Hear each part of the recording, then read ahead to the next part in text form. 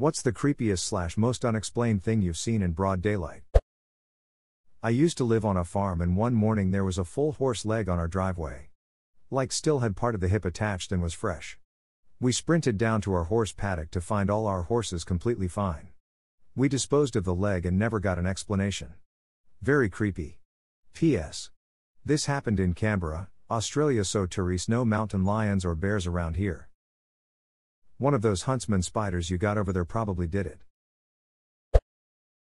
My dad, brother, and I went to a movie theater one day in Florida, was around 4 ish, so it was getting darker but still light out.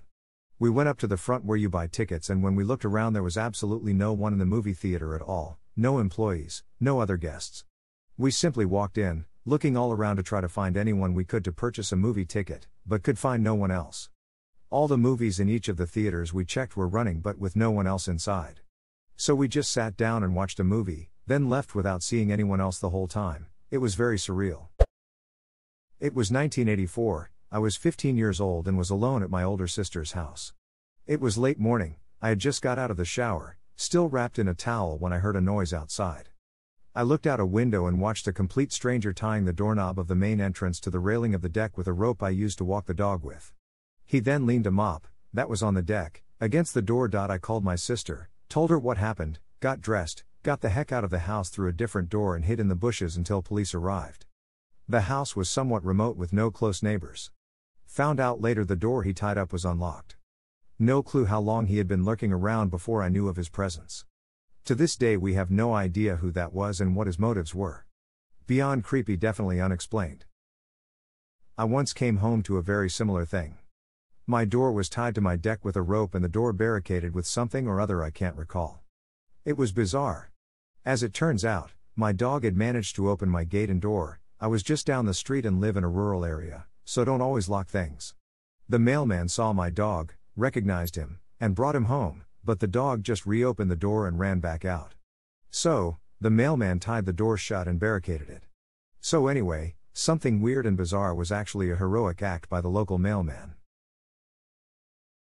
Plot twist the mailman learned the trick from all the murders. When I was young, me and my cousins found a bloody shirt in our woods.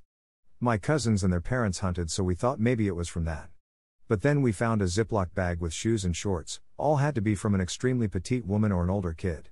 When we told our uncle about it, we got punished and weren't allowed to talk about it. I don't speak to them anymore, but really makes you wonder. You maybe should report that to the police now. They might have some cold case that this would fit.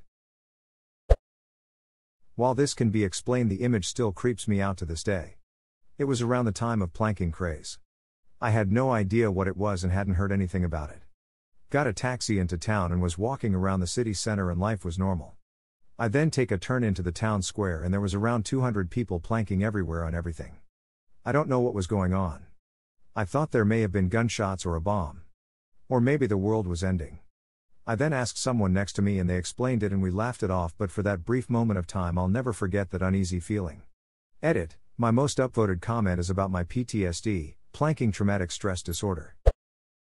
I believe there is a name for this phenomena, but I would never know how to go about Googling such a thing. But this was around 2013 or so, and I was having a smoke in front of my apartment on the front steps in the middle of the day around noon or so. I got up to head back, and just for a few fleeting seconds while looking at the building, it looked totally unfamiliar. I knew I lived there, I knew it was my home, I knew I had just stepped outside only five minutes previously, but my brain was giving me some kind of indication that I had never seen this place before and that there was danger inherent. I just kind of violently wagged my head back and forth like an aggressive no gesture and was immediately back to normal. But I'll never forget that moment, it was like my concept of reality had very momentarily just cracked. Sounds alike jamais vu, when something familiar becomes strangely unfamiliar. A man with freshly exposed bone on his arm and missing a substantial amount of skin and muscle walked up to me in a parking lot asking me calmly for cigarettes. It really freaked me out, and told him I was calling 911 for him. He immediately ran off and I gave his description to 911. There wasn't much blood, but the guy clearly needed immediate medical attention. This was in San Jose on an afternoon about 5 to 6 years ago. Still have that image giving me nightmares to this day. There's a guy, homeless guy, that gets sent quite regularly to a hospital in Dallas. Dude has nothing other than bones from calves down. Just skeleton feet. What happened was when the freeze hit a year or so ago, frostbite started taking everything away. He won't let doctors remove them because the local kids pay him like $10 to see it. The smell is so bad the nurses and doctors, from a level 1 trauma center, will gag, puke, even cry because of how awful that stench is. Nothing comes close to describing it. Am honestly surprised Hess not dead. Necrotizing fasciitis and gangrene will lead to sepsis and organ failure real soon and then Hess done for. Sometimes the human body arrives at weird equilibriums. Things might turn real bad real fast at any time though. People out here dying of cuts that get infected and poison their blood, and then there is this guy. Imagine being a ghost of some health freak who died of something small seeing this dude walking around. I'd be pissed. Ha ha ha ha, right. I read a review about a younger woman had a pimple on her labia, popped it and got a blood infection two days later and almost died. My family had the car packed up for a road trip because we were moving across the country from the PNW to the Rust Belt. We were heading to the highway to get out of town and had to take some weird access road to get there. On the way, there was some man holding a long barrel rifle to a woman's head, walking through a vegetable garden. He was holding it with one hand, and had a cigarette in his mouth. The woman was crying. My mom didn't believe me. I was 14, I know what I saw.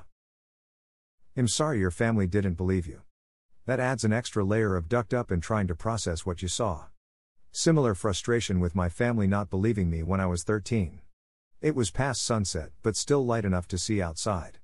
I went to our backyard to get something when I looked past our yard to the street over, and heard a loud scream and saw a young woman running away in a panic yelling help. Hess going to get me. And a man chasing after her. It happened so quick, but I clearly remember her panicked voice.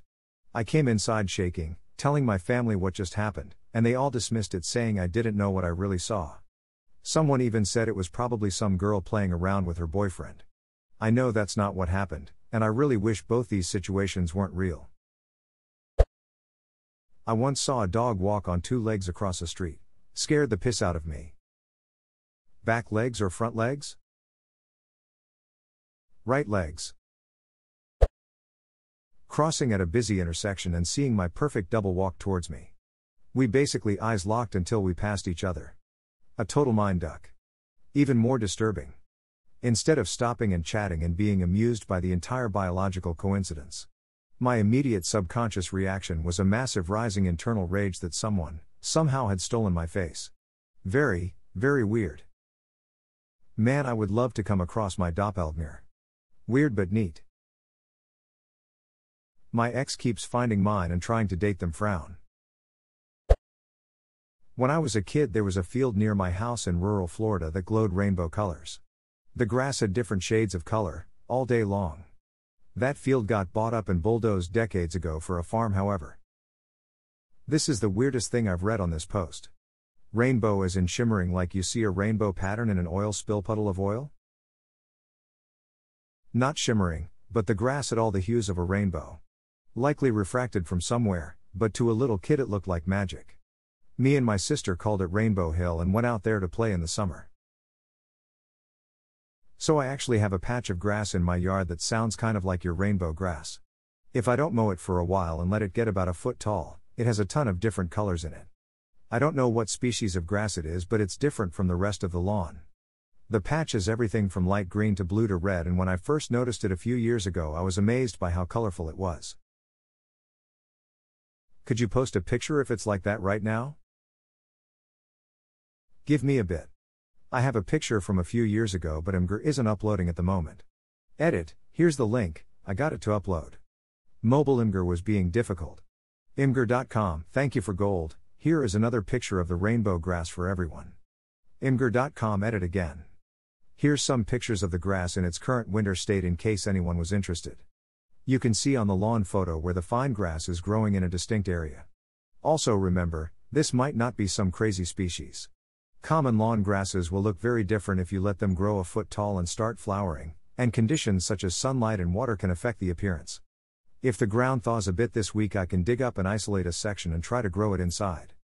Imgur.com. Wow, that is not what I pictured.